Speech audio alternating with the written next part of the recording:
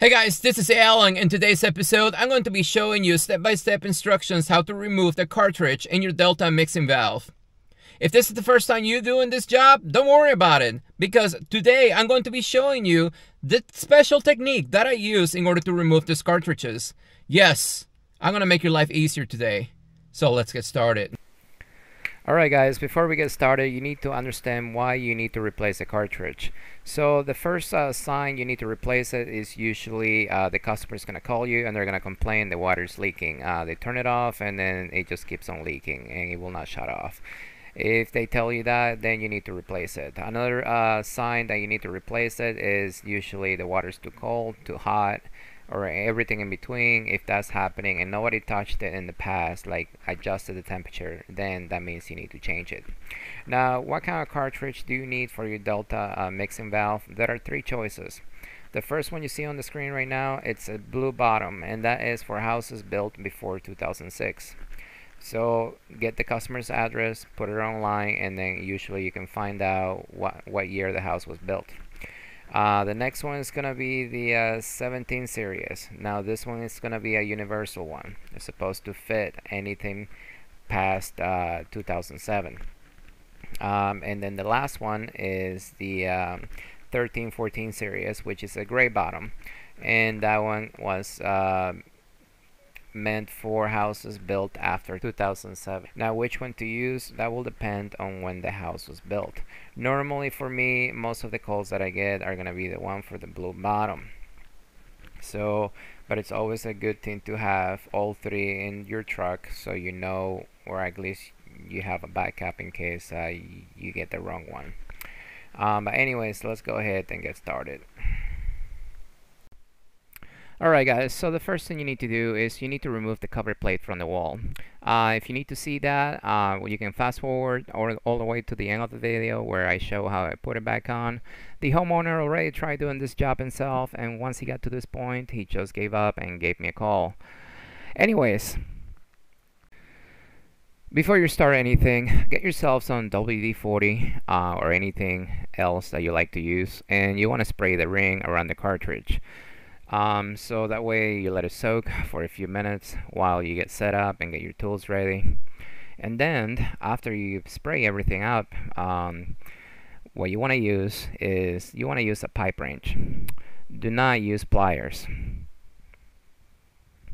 Because uh, what usually happens when you use pliers and you apply pressure like I am right now, it's just going to squeeze uh, that ring and uh, it will come off but once it's time to put it back on it's gonna be uh, it's gonna be bent and then it's gonna make your life miserable.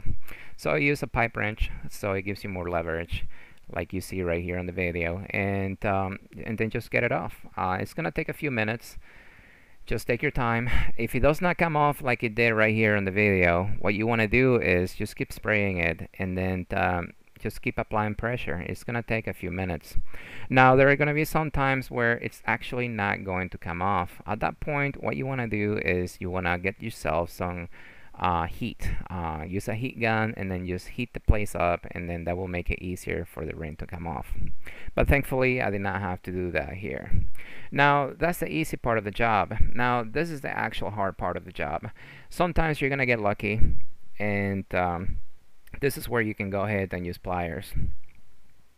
But yeah you're gonna get lucky and uh, once you start pulling on it it will come right off. If that happens to you good for you but you know what? Most times it's just not gonna work out. And that's probably the reason why you're watching me right now because this is where you got stuck and you don't know what to do next now, before you start pulling on the cartridge itself, um, I always recommend to get yourself a heat gun, just like this, and then just heat the entire casing up.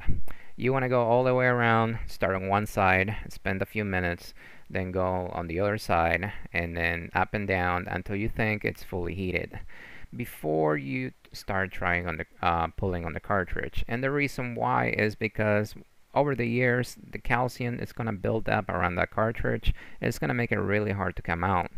Now if you've never seen one before you probably just bought it. So look at the case and you're going to see it's a two-part um, it's a two-piece uh, cartridge. You're going to have the outer um, white um, area and then you're gonna have the inner one that's gonna have the two little holes that go inside the actual mixing valve so if you start pulling on it what usually happens is the outer part is gonna come out. And then if that happens then it's just gonna get a lot harder for you. So what I'm trying to do here is I'm trying to heat up the area so the metal expands and then hopefully it's gonna break everything loose on the inside. And at that point you can go ahead and start um, trying to pull it out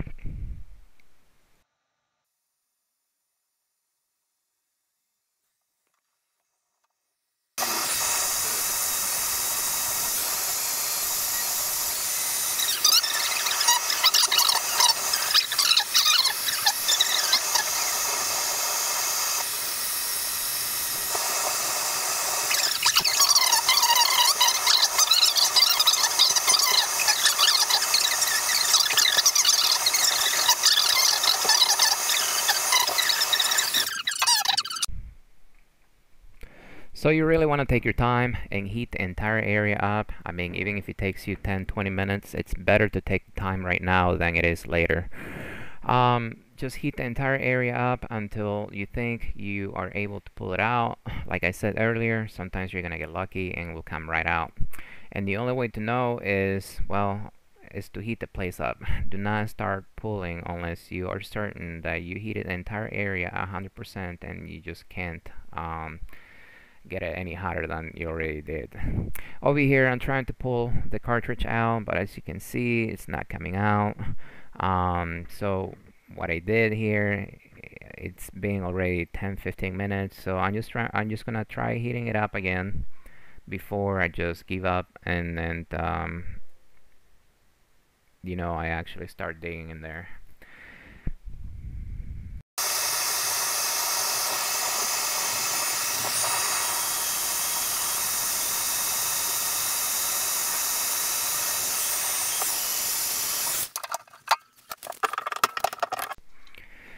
After about 20 minutes of doing this I just you know what I'm like I'm done. So I'm just gonna go ahead and pull on it and if it comes out it comes out. If it does if it does not come out oh well. Um, so it did not come out. Um, so this is what it's gonna look like once you pull the uh, outer piece out. Uh, the hardest part of the job is going to be that inner piece um, that is completely stuck in there. And the thing about it is inside that cylinder, um, that blue thing you see in the wall, there's a, a, drum, there's a cylinder. So it makes it really hard for um, the plastic to bend. So you literally, the technique that I'm about to show you is you need to just carve everything out. Uh, so the first step is going to be to get yourself uh, your pliers and then those two little um, tubes uh, sticking out, you just want to go ahead and break them off and pulling out. Once you do that, um, behind them you're gonna see the uh, cylinder or metal drum that actually does the um, water mixing. Um, so yeah, just pull it out, get yourself a flathead screwdriver and pliers and then just pull the whole thing out. Do not be afraid to break anything on the wall right now. That mixing valve, if it's secure to the wall, it's not going to go anywhere and you're not going to break anything. Um, it's going to take a few minutes. Just spend your time um, and then just pull it out. Once you actually have it out, like I do here, um, you can see the cylinder in the wall so what I'm trying to do right now is I'm just trying to slide it out uh, by putting some more uh, WD-40 in there. And then you can see the places, the whole cylinder, the casing is completely hot because as I spray it with uh, WD-40 just keeps smoking. Um, okay, so the main goal right now is to pull that thing out. And the only way you're going to do that is by prying it out. Um, what you can do is get yourself a flathead screwdriver like I have right here and then just stick it behind it and then just try to pry it out. Um, sometimes it will come out if you get lucky, but most times it's not. So at this point, what you want to do is um, just keep prying it out and um, if it doesn't come out, what you can do is uh, at that point is, you know, get yourself the heat gun and then heat the area up and that will soften up the plastic and it will make it easier for you to just break it apart. Sometimes um, by using the screwdriver alone like I'm doing here it will it will just break apart.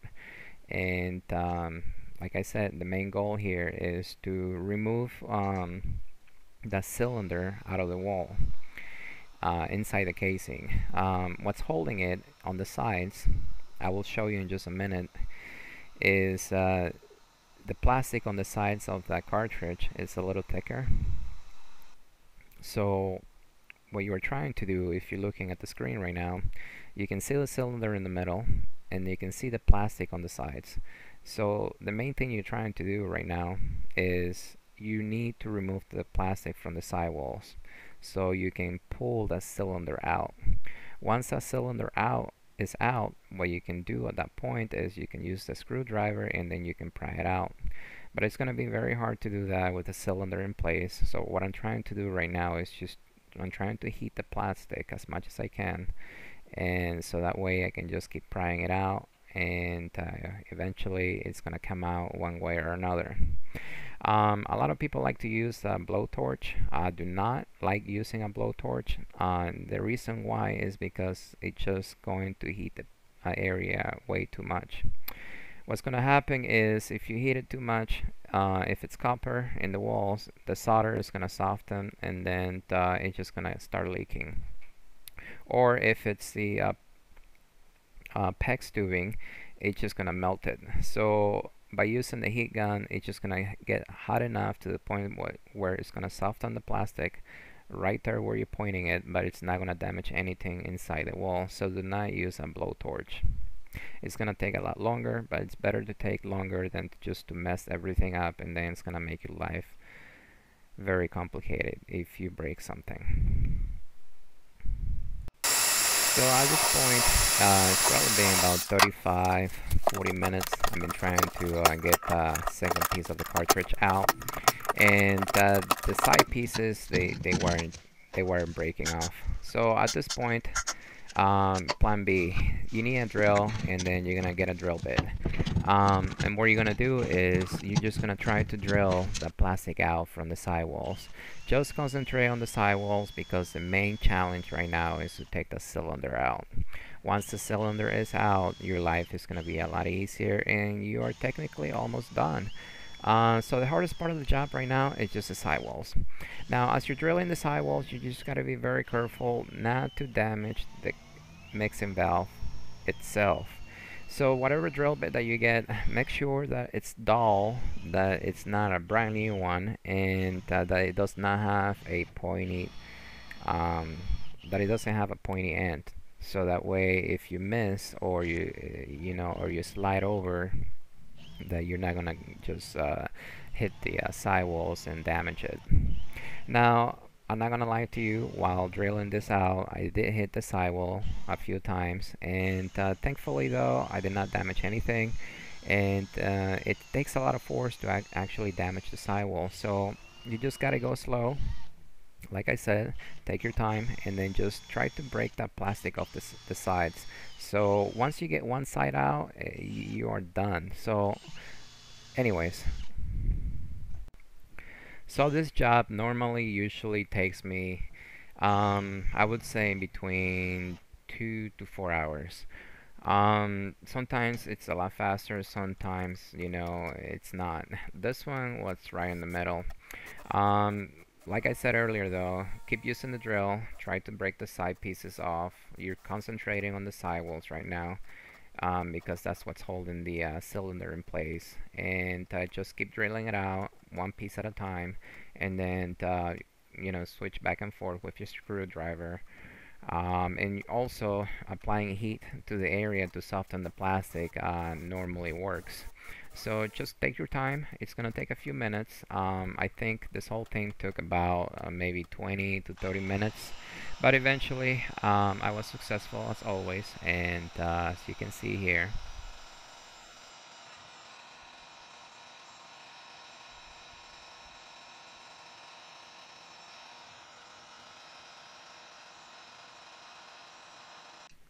once you break at least one uh, side off, you can just get your screwdriver underneath the cylinder and you can just pry it out just like I did. Once the cylinder's out, I mean, you are literally almost done. At that point, what you can do is you can go from the bottom or from the top, like I did over here, and then you can just pry the whole piece out. Uh, you can see the plastic is very soft, so it makes it a lot easier just to, you know, crumble it and then pull the little pieces out one at a time. Sometimes it will come out all at once, sometimes you just have to pry it out one piece at a time.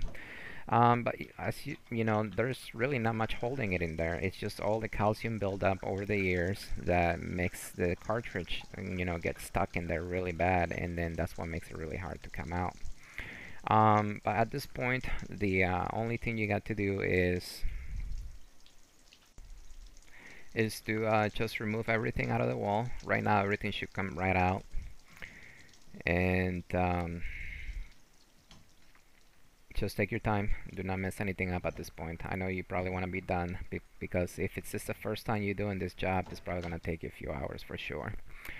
But as you can see, there's really not much in there. Now what you, what you want to do is get yourself some sandpaper. Um, I have some over here that I used to um, for weld, uh, not welding, but soldering pipe to clean my uh, copper pipe. So I just, what you're trying to do here at this point is you want to clean everything on the inside. Um, what's in the inside? Well, calcium buildup.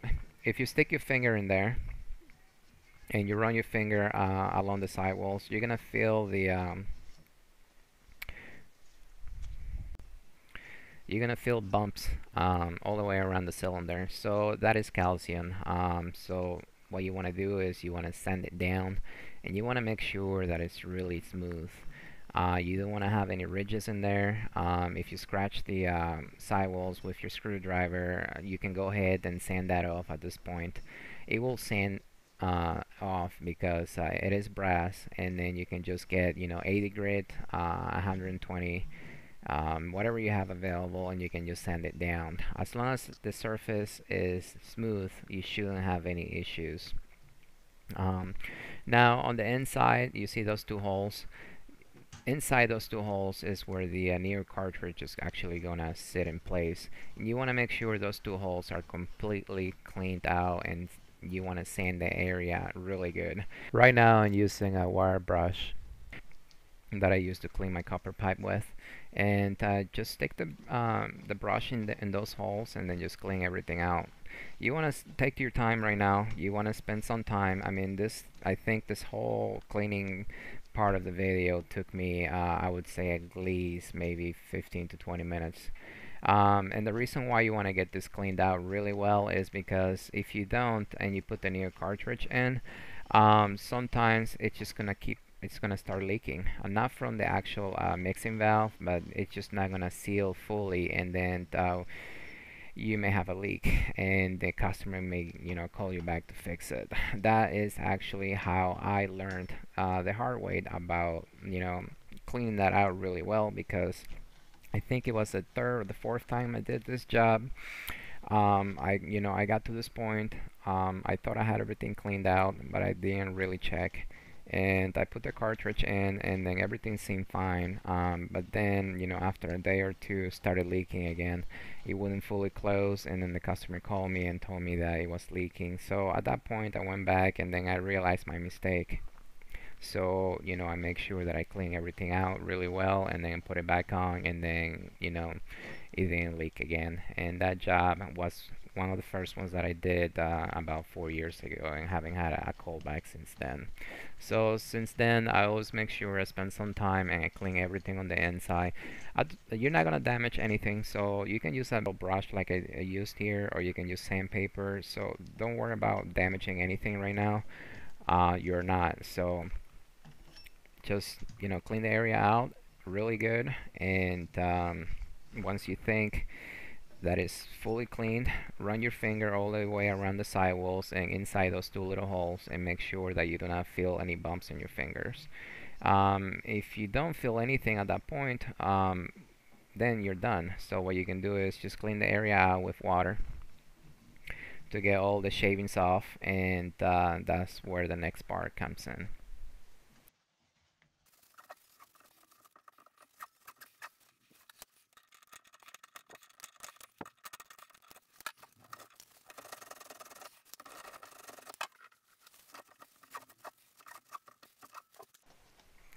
now that everything's cleaned, uh, it's time to put the cartridge on. As you saw on the screen, I only use uh, OEM uh, Delta cartridges and uh, that was silicone grease that I just showed you. Um, why OEM? Because, well, they are going to be more expensive. At the time of this video, I think it was almost $70 for that cartridge. So when I do these jobs, um, I give the customer two choices. You can provide the cartridge, and I will not guarantee the work. I will guarantee that I'm not going to break anything. I will guarantee that my labor is going to be perfect. But I will not guarantee that the cartridge will last or it will not leak eventually. So, or I can provide the cartridge and then I will give you a two-year warranty. Why two years? Well, I'm licensed, so even if I didn't want to give them a warranty, I have to because here in my state, uh, whatever labor that I do for any customer is guaranteed up to two years. So that's the main reason why I do two-year warranty. But you know what? Even if they have issues in the future, um, I, I would still help them out. So it's not like two years, it's just a limit, and then, you know, if one day pass after two years, I'm not just gonna do anything about it. Uh, the two year warranty is only for uh, liability issues and legal stuff. Um, but as you can see right now, uh, everything's cleaned and now it's time to put the cartridge back in. Now if you look at the front of the cartridge, in the front it's going to show one side is going to say hot and one side is going to say cold. The hot side, you always want to make sure it's facing to the left. So if you're having issues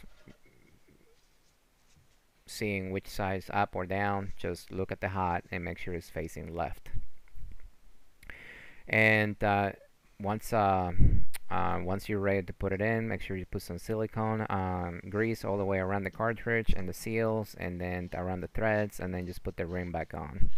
And right now the only thing you gotta do is just just put the ring back on and get your pipe wrench and I would say as soon as uh, you hand tighten it and you, you feel resistance quarter turn and uh, you are done it doesn't really have to be that tight um, because all it's doing is just preventing uh, that cartridge from sliding out. Um, and you gotta make sure you put that ring back on because if you don't, uh, you turn the water on, it will pop right out. That happened to me once, so don't make that mistake. Um, but yeah, just put it on, and then all you got left to do right now is just to put the cover plate back on, and then the handle, and then test the uh, water, make sure that everything is working right, and then that's what I'm uh, doing right now.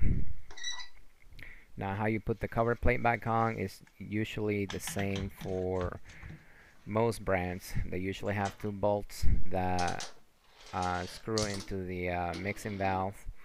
You just gotta line up the holes with the uh, holes in the mixing valve and then just screw everything in place and then the handle itself usually um, sometimes it has a screw that you just unscrew it and then sometimes it has like um, like an Allen uh, key screw that you have to use an Allen wrench uh, to unscrew it. And then the, this one happens to be that one and it has a cover plate that goes on top of it too. But anyways uh, let's talk about some numbers on this one um, normally, I charge uh, $450 for replacing cartridges, and that includes the new one. And like I said before, you can find cheaper cartridges out there, I think that for half the price. But the problem with them is, um, in my experience, they don't last long, about two, three years. And then uh, in the past, I actually had a customer. He provided the cartridge, uh, but thankfully I did tell him that I was not guaranteed that it was not gonna leak. And I think it lasted about two years and then it started dripping water again. He couldn't he couldn't close it fully again. So he called me up and then he remembered what I told him. So he literally had to pay twice for that job when he could have just paid once and then I would have provided the cartridge. Um, do I make any money on pro providing the cartridge? No, I do not. I, I just build it into the price that I charge for this job um, and the reason I like to provide it is because I know what I'm getting and uh, I just like to use the OEM so that way there are no issues in the future. But as you can see right now everything I'm just putting it back on and uh, I just gotta test the water make sure that it, it, um, it comes on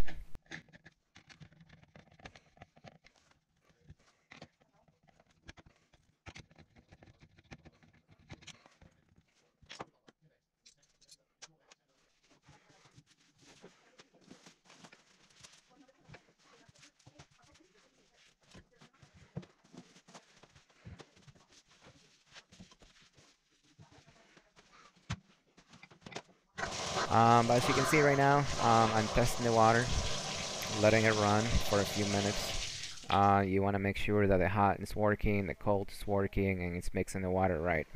Uh, if you install it upside down, well, what usually is going to happen when you turn it left, when you turn it left, it's just going to turn the cold water, and then when you turn it right, it's just going to be hot. So it's not like the end of the world if you install it upside down. Uh, but most people are used to, you know, uh, turning the handle to the left to turn the water hot, and then right to turn it cold. Um, but yeah, just test the water out. And um, another thing that I like to do is before I turn the water on, I like to have the homeowner uh, staying in the bathroom and then um, call me and then uh, to make sure that the water is just not gonna squirt everywhere and then flood the entire house by the time I walk back into the house so I just like to have somebody there to tell me if there are any leaks or not but I didn't film that but I did have him stand there and then on the phone while I turn the water on so that way I knew for sure it wasn't gonna leak Another thing that I forgot to mention is uh, as you turn the water on, before you put the cover plate back on, um, you want to look inside the wall that there are no leaks.